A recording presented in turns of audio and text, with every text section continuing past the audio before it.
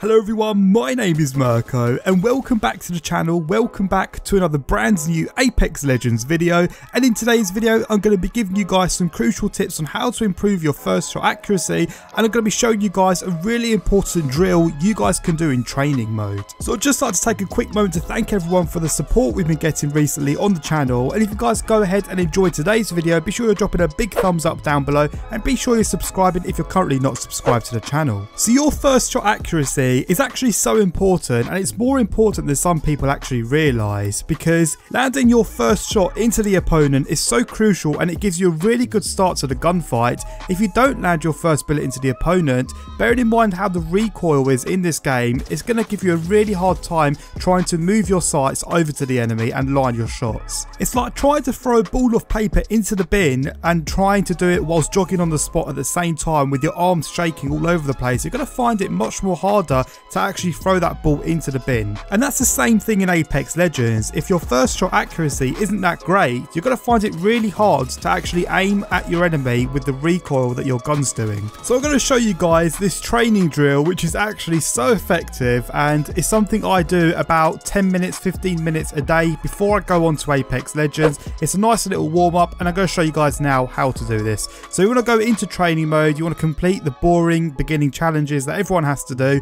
I hope they release an update where you can just jump straight into training without these tutorials. So you want to pick two weapons of your choice, but you want to make sure of two things. The weapon has over six bullets in ammo capacity, and you also want to make sure that them weapons have a single fire rate mode. So you want to come to this location here, in between the cracks in the floor and between these two targets you can see on screen. Once you're in this position here, the first drill you're going to be doing is you're going to be shooting at the first target here and the last target here. And then after you shot them two targets, you want to move to the ones in the middle, and then you want to move to the ones that are closest to each other. Now I suggest starting off really slowly because you want to make sure you're being as accurate as you can. The more you feel comfortable, then um, the more I suggest you start increasing the speed, and you're going to be missing shots guys as you can see on screen. I'm not perfect, I haven't got the most perfect aim, and I guarantee if you put a pro player in this drill, they're also not going to be 100% accurate. If you're missing the target quite often, you want to check if you're over aiming or under aiming. That means if you're aiming past the intended target,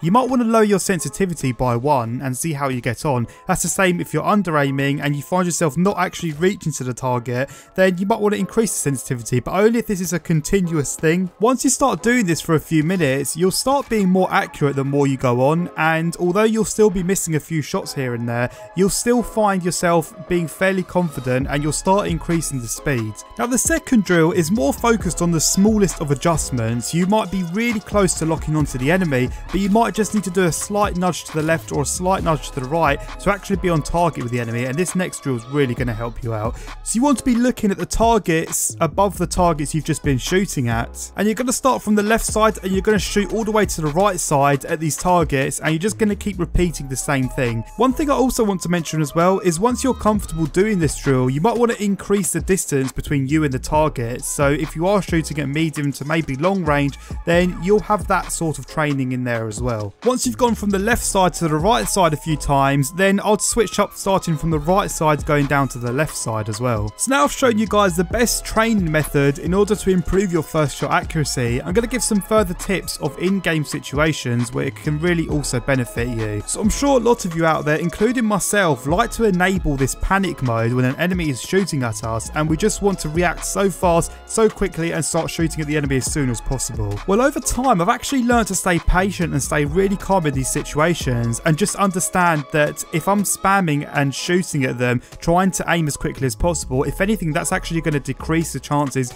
of me being on target. Now if you find yourself in a situation where an enemy is shooting at you from the side of your screen and you actually have to turn around to be able to shoot back at the enemy, you don't want to be engaging at all. You want to be running to the closest point of cover because if you turn around and actually engage with the enemy, by the time you've actually taken to turn around, point your gun at the enemy, it would have already been too late and you would have probably gone down in the meantime. But what you guys need to understand when you're engaging with enemies is that your first shot is the only free shot which is going to give you 100% accuracy because there's going to be no recoil on your weapon. It's your only chance to line up your gun with the enemy without any recoil stopping you. And once you've landed that first shot into the enemy, especially if you're using a fully auto weapon, the chances of you actually killing the enemy before you have to reload is very very high. So that's why it's really good and it's really advantageous if you do land that first shot. And when enemies aren't focused on you, be sure you're taking time to line up your shots as your job in downing the enemy will be done much more faster. And as for lining up your shots during a gunfight, this is where the training will really start to kick in because your reaction in lining up your shots will be much more faster after you've been doing the training for quite some time and your reflexes will have just gone up a notch. So anyway guys, I'm going to wrap this video up here. If you guys did go ahead and enjoy today's video and you learned something new, be sure you're dropping a big thumbs up down below and be sure you're leaving a comment letting me know how you get on in the training drill. If you're currently not subscribed to the channel, I'll definitely recommend you do so down below so you don't miss out on any future Apex videos like this one you've seen today. As always, my name's been Mirko and I'll catch all of you guys out